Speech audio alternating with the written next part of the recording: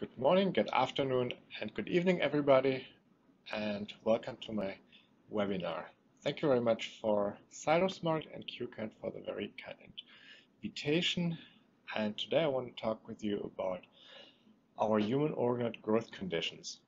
My name is Dennis Plenker. I'm a research investigator in the laboratory of Dr. David Tuveson, and I'm the technical manager of the organoid facility at Cold Spring Harbor Laboratory. The topics I want to talk today about is the general organoid usage in the laboratories around the world, our pipeline to generate organoids, and why it's actually so important to harmonize our methods and how we actually get there through number one, training, through harmonized media, and through matrices that are better defined. This all will in the end lead to more reproducible results. In the last couple of years, a lot of publications used organoids. Most of the publication used really ways for precision medicine approaches, as you can see on the upper left and down to the lower right, but as well new biological functions can now be studied in 3D, which was initially um, impossible with the 2D derived cell lines. However, all of these organoids require a different media just based on where they were grown from. Our pipeline to grow patient-derived organoids starts from a biopsy or a resection. We digest it to close to single cells. After this, we embed the cells in Matrigel and cover it with um, specific growth factors and media. And once a culture really starts growing and we can expand it, we do first a QC, uh, which includes freeze and thaw cycles before we would even start doing sequencing approaches or further down the road functional analysis. We've done a lot of trainings and have trained researchers from more than 50 institutions around the world. However, when they go back to their home institutions, roughly 50% fail there to establish organoid technology. And the most common issues that we've seen are coming from media or from the starting material that they um, get from their clinical departments. So there is, in our eyes, a big need to standardize media and to make actually as well media generation a lot more accessible so that if you are a small lab, for example, and you just need one key experiment to perform using organoids, it's a, a lot easier approach compared to where we are at the moment. Just in the lower left panel, after we've plated our close to single cell um, solution in Matrigel, you can just see cell, small clumps of cells in passage one. Some of these cells have diluted out and organoids have formed and we call passage 5 as one of the key steps because a lot of cultures after passage 5 are pretty much stable and do not fail anymore. So after we've frozen down our organoids, we would thaw them again and then would just follow up over the next couple of days if they really expand, which you can just nicely see in these three um, pictures on the lower right for panel for that panel. In the upper right panel now, you can see one example, and this is plotting number of domes against days in culture when a culture really fails, so it's just static or even goes down. And really, really successful cultures really usually start to take off from the very beginning. And this dip at the end is again our freezing step here. The other issue I had mentioned was very few cells or like no viable cells, and this is something uh, where you really have to get back to your clinical department to really discuss how biopsies or resected tissue is handled. Other important components for organoid cultures, as I had mentioned, is definitely media. A lot of the organoid media is based on the ENR method, that means EGF, noggin, and R-spondin in the media.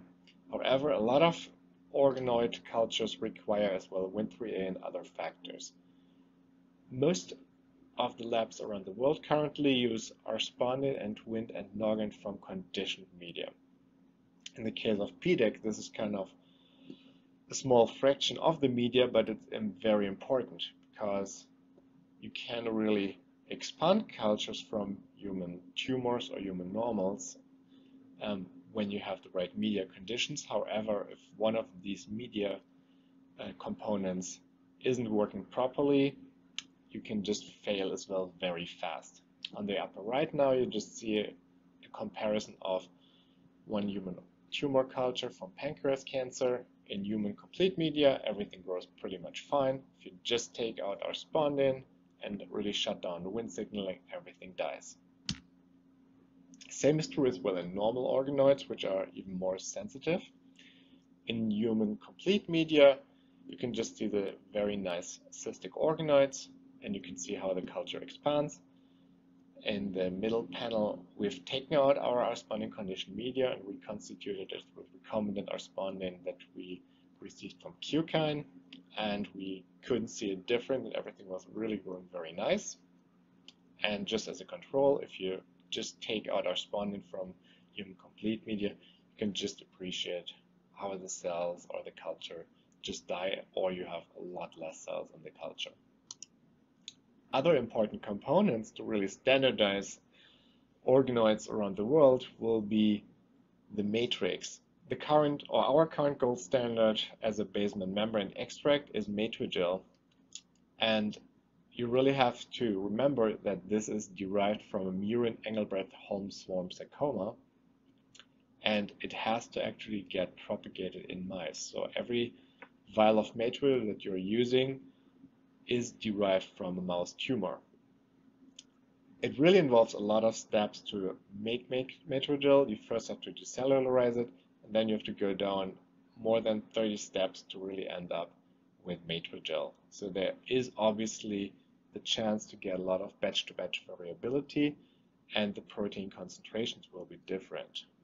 And there are, are really still more than 2,000 proteins and 14,000 unique peptides uh, from the mouse tumor that can be found in Matrigel compared to just the um, collagens, integrins, and uh, laminins that really make up the majority of proteins in Matrigel.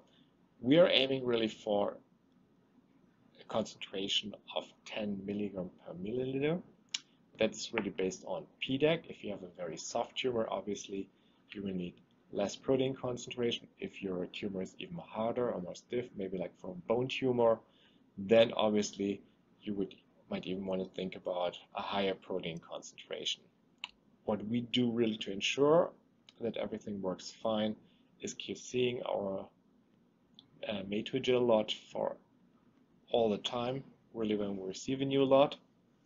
And you can just see on the lower right here in this nice um, review in Nature Reviews Material that was published earlier this year, the idea obviously is if we use Matrigel, we are using a matrix that is less well defined compared to a synthetic scaffold, and we would hope and think that we can even boost our success rates to generate organoids and make really methods uh, more uniform around the world uh, with a synthetic scaffold when we tried, for example, um, different hydrogels against matrigel in tumor and normal organoids, most tumor organoids really worked fine in a hydrogel, uh, and we used one that either resembled integrins or collagen binding sites.